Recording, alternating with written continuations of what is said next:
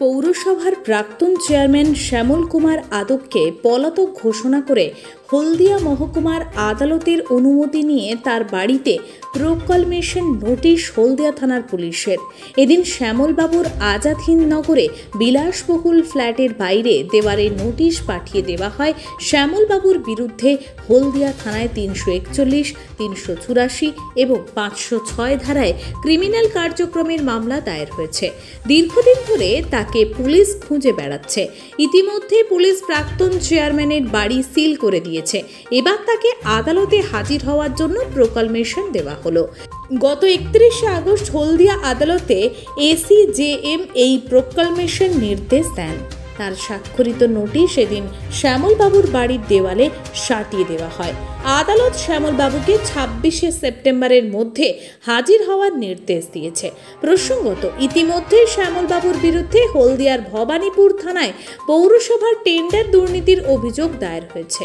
সেই অভিযোগের ভিত্তিতে নবান্নের নির্দেশে হলদিয়া মহকুমা শাসকের নেতৃত্বে তিন সদস্যের টিম তদন্ত শুরু করেছে।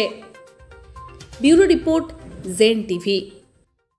এবং আপনার ডকে উনি তো ইউনিয়ন করতেন সেখানে কিছু লোক ওনার বিরুদ্ধে অভিযোগ করেছে। সেই অনুযায়ী এই এই নোটিশটা উপরে হয়েছে। আর এই যে নোটিশটার কথা বলছেন আপনি এই নোটিশটা ডকের একজন লোক হলদিয়া ডক কমপ্লেক্সের একজন লোক ওনার বিরুদ্ধে কী অভিযোগ করেছে আমি জানি না সেই অভিযোগের জন্যই এই নোটিশটা। ও টু পাবলিক স্কুল। উন্নত সর্বাধুনিক পরিকাঠামো সমন্বিত আদর্শ আবাসিক বিদ্যালয়। পঞ্চম থেকে দ্বাদশ শ্রেণি পর্যন্ত সুদক্ষ শিক্ষক দ্বারা পঠন পাঠনের ব্যবস্থা রয়েছে। ছাত্র ছাত্রীদের জন্য পৃথক ক্যাম্পাস, মুর্শিদাবাদে ধুলিয়ান ও উমরপুরে অবস্থিত ওটু পাবলিক স্কুলে তিনটি ক্যাম্পাসে জাতি ধর্ম নির্বিশেষে সকল ছাত্রছাত্রীদের ভর্তি নেওয়া হয়।